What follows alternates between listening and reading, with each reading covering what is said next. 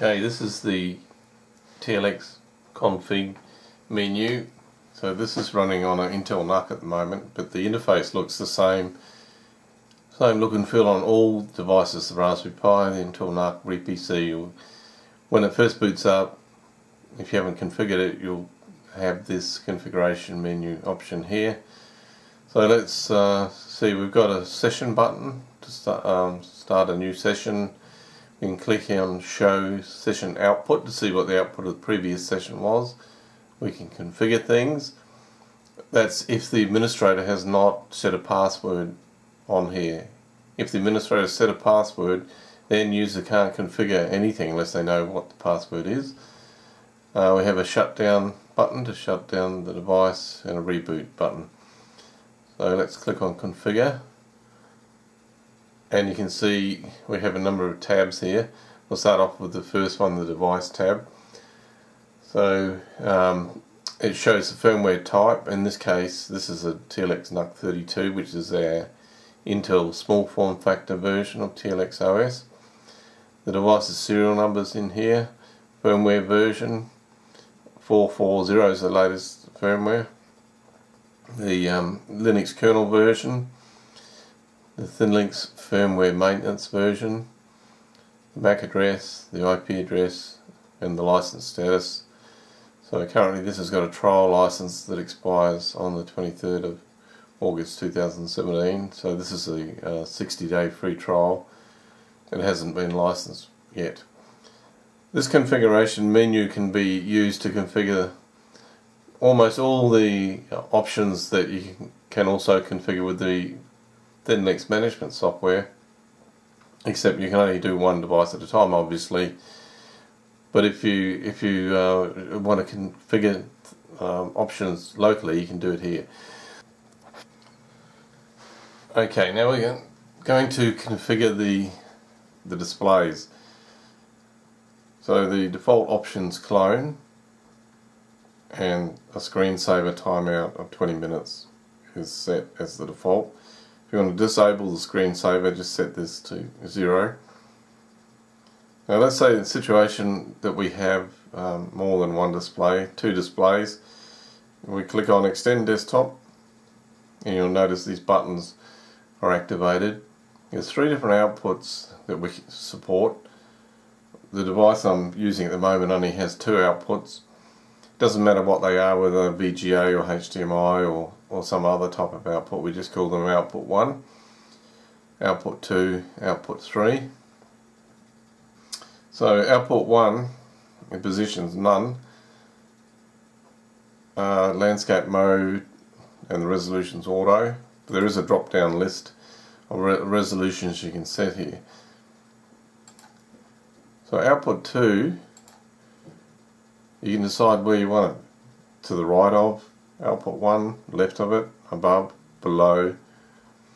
So I want it to the right of the referent I put here output 1 so output 2 is right of output 1 they're both in landscape mode but you can have portrait if you prefer which is useful for um, digital signage.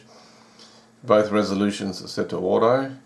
The third output is set to none and if I click on save now uh, the, the, displays we set up.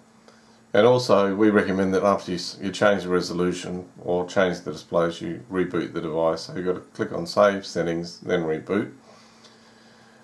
So I'll click on cancel because I'm happy the way the display is set on this at the moment.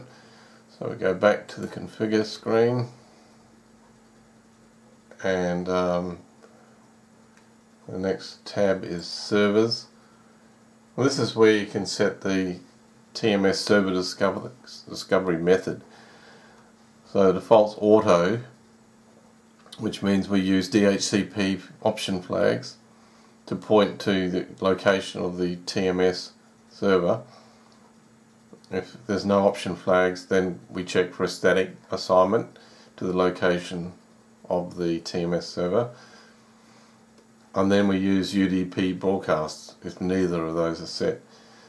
So we default the uh, static values here to a host name of TMS. So you'd normally uh, enter your own host name here for the name of the system that the uh, TMS software is running on. And um, in this case, because we've got a default of TMS, if you set your DNS CNAME up to point TMS to the TMS server, you don't need to configure anything here because it's already configured. So the options are auto, DHCP, static, or UDP broadcast. UDP broadcast uh, only works on one subnet. So if you've got your device located on a different subnet or somewhere else in the world, you have to either um, have DHCP option flag set or static assignment. We can set the time server here, so we've got um, at the moment Australia Melbourne, but I could enter uh, any choice of time zones here, uh, but we'll just leave that as it is. And the time server, we default to this Debian pool NTP all time server. In some situations you'll have to enter the name of your local time server uh, to get the correct time. Another option we've got down here which I've already got selected and configured is enable PXE server. So firstly um, you need to put a subnet in here. So the network I've got here is 192.168.1.0. The net mask 255.255.255.0. The DHCP range start, this is the DHCP address I want the PXE server to hand out, is uh, 192.168.1.247 and DHCP range N 192.168.1.249. Normally you could set this to um, you know uh, 50 to 200 or 250 but I'm only uh, handing out two um, IP addresses using this. I've got it set here, there's two choices, provisioning or diskless clients.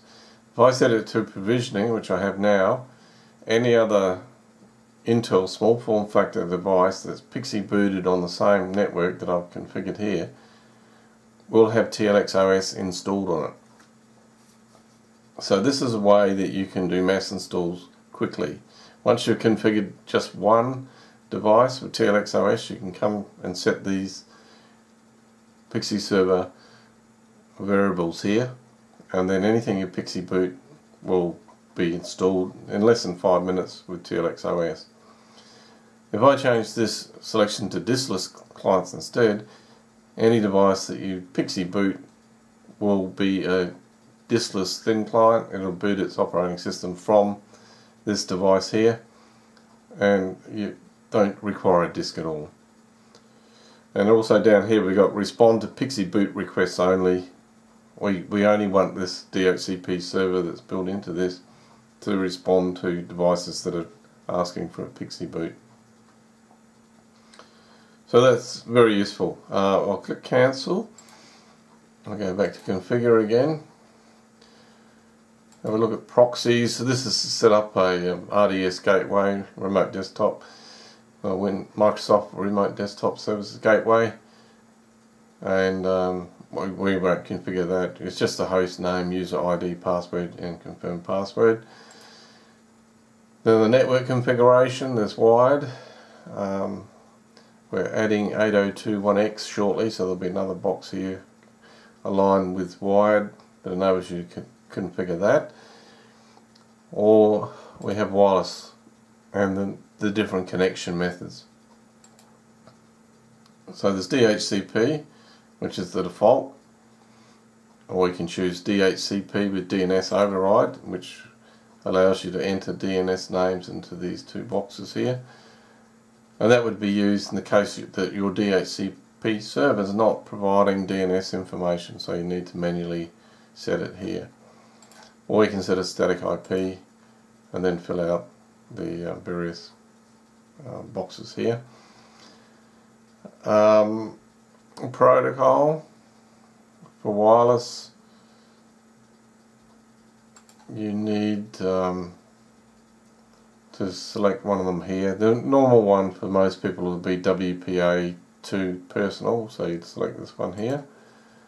But we do have none, WEP, WPA2 personal, WPA2 enterprise, and if you're using the management server to configure this instead of the local configuration menu, we also have WPA2 enterprise certificate. So that's that section. I'll just hit cancel. Go back to configure. Application. This is the mode that we want it to start in. So at the moment I've configured it to be Citrix HDX and I've put in the storefront name here, xendesktop.thinlinx.com. If I put in the command line arguments box the name of the desktop that I want to launch, instead of going to the storefront and displaying all the icons for different applications and desktops, the actual desktop in this command line arguments box will be launched instead. I can set auto login by entering a username, domain, password and then confirm the password and I can select auto reconnect which will um, reconnect to the Citrix session after logging out. This is quite useful if you don't use auto login because when you log out you just get an empty dialog box that you've got to enter your username at domain and your password before you can log in. So for people that are sharing one system that's very useful, a user can log out and the next user has an empty dialog box to enter their username at the domain they're in. In my case it's john at test, the domain's test, and then the password. We can select any of these protocols uh, on this tab. So Citrix HDX, SSH, Remote Desktop Protocol for Microsoft.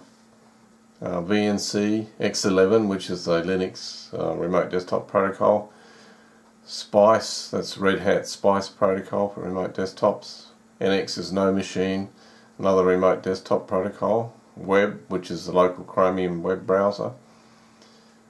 TCM ThinLinx Connection Manager which is uh, under development Telnet which is an old protocol but still used at times TN3270, which is IBM's mainframe terminal client. Horizon VMware, that's uh, VMware's Horizon client with H.264 BLAST support.